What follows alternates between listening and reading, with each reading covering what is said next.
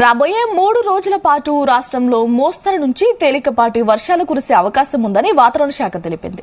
నల్గొండ భద్రాద్రి కొత్తగూడెం ఖమ్మం రాజన్న సిరిసిల్ల పెద్దపల్లి జనగాం జగిత్యాల పరిసర ప్రాంతాల్లో మోస్తరు వర్షం కురిసే అవకాశం ఉందని పేర్కొంది. ఈ రోజు రేపట్లో దక్షిణ అండమాన్ సరిహద్దు ప్రాంతాల్లో ఒక ఉపరితల ఆవర్తనం ఏర్పడే అవకాశం ఉన్నట్లు వాతావరణ శాఖ అంచనా వేసింది. ఇది మరింత బలపడి అల్పపీడనంగా మారే అవకాశం ఉందంటోంది వాతావరణ కేంద్రం.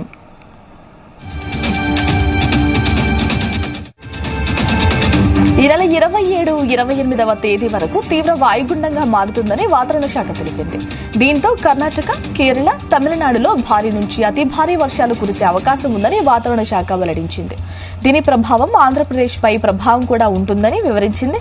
తెలంగాణపై ప్రభావం తక్కువ ఉండబోతోంది. ఈ ప్రభావంతో రెండు రోజులు ఉదయం పూట ఉష్ణోగ్రతలు తగ్గబోతున్నట్లు వెల్లడించింది. రాత్రిపూట ఉష్ణోగ్రతల్లో కూడా తగ్గనున్నాయి. రాత్రిపూట ఉష్ణోగ్రతలు పంతొమ్మిది లేదా ఇరవై డిగ్రీల మధ్య నమోదయ్యే అవకాశాలున్నట్లు వెల్లడించింది వాతావరణ కేంద్రం.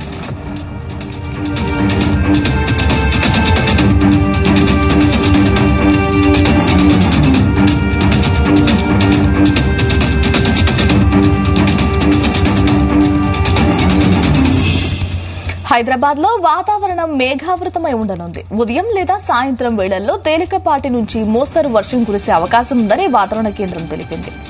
ఎల్లీలో ప్రభావం ఉండడం కారణంగా వర్షాల తర్వాత మళ్ళీ ఉష్ణోగ్రతలు పెరిగే అవకాశం ఉంది